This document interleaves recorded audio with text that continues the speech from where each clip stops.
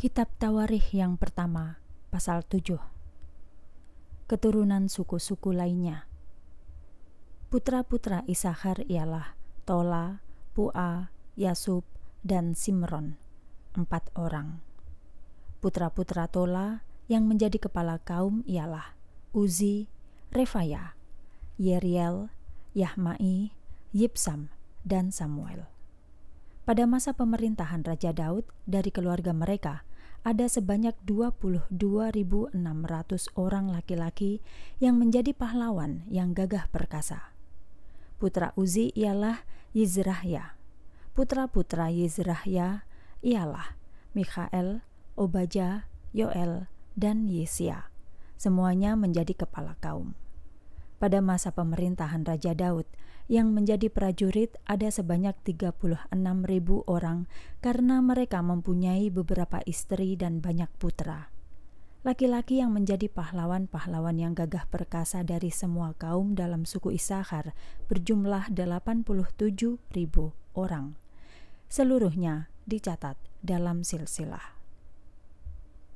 Putra-putra Benyamin ialah Bela, Becher, dan Yediael, tiga orang. Putra-putra Bela ialah Esbon, Uzi, Uziel, Yerimot, dan Iri, lima orang. Kelimanya pahlawan-pahlawan yang gagah perkasa dan menjadi kepala kaum. Mereka juga menjadi kepala pasukan sebesar 22.034 orang. Seluruhnya dicatat dalam silsilah. Putra-putra Becher ialah Zemira, Yoas, Eliezer, Elioenai, Omri, Yeremot, Abia, Anatot, dan Elemet. Pada masa pemerintahan Raja Daud, keturunan mereka yang menjadi prajurit yang gagah perkasa ada sebanyak 22.200 orang. Mereka dipimpin oleh kepala-kepala kaumnya. Putra Yediael ialah Bilhan. Putra Bilhan ialah Yeush, Benyamin, Ehud, Kenaana, Zetan, Tarsis, dan Ahisahar. Mereka itu kepala-kepala Bani kaum Yediael. Keturunan mereka yang menjadi prajurit yang gagah perkasa ada sebanyak 17.200 orang. Keturunan Ir ialah Supim dan Hupim. Sedangkan keturunan akhir ialah Husim. Putra-putra Naftali, anak Yakub dari Bilha, ialah Yahziel, Guni, Yezer, dan Salum. Putra-putra Manasye yang lahir dari gundiknya, seorang perempuan Aram, ialah Asriel dan Makhir, bapa Gilead. Makhir memperistri adik Hupim dan Supim, yaitu Ma'aha. Keturunan Makhir yang lainnya ialah Zelafehad. Zelafehad hanya mempunyai anak-anak perempuan. Ma'aha, istri Makhir, melahirkan seorang putra yang diberi nama Peresh. Nama adik laki-lakinya ialah Seres. Peresh mempunyai dua orang putra, yaitu Ulam dan Rekem. Putra Ulam ialah Bedan. Inilah keturunan Gilead, cucu Makhir, cicit Manasye. Molechet, saudara perempuan Gilead, melahirkan Ishot, Abiezer, dan Mahlah. Putra-putra Semida ialah Ahyan, Sechem, Lihi, dan Aniam. Putra-putra Efraim ialah Sutelah, Bered, Tahat, Elada, Tahat, Zabad, Sutelah, Ezer, dan Elad. Tetapi Ezer dan Elad dibunuh oleh para petani di Gad karena berusaha mencuri ternak di daerah itu. Efraim, ayah mereka, meratapi mereka berhari-hari lamanya, dan saudara-saudaranya berusaha menghibur dia. Setelah itu, istrinya hamil lagi dan melahirkan baginya seorang putra yang diberi nama Beria, artinya malapetaka, karena kejadian yang menyedihkan itu. Anak perempuan Efraim diberi nama Seera. Ia membangun Bet Horon Hilir dan Bet Horon Hulu serta Uzen Seera.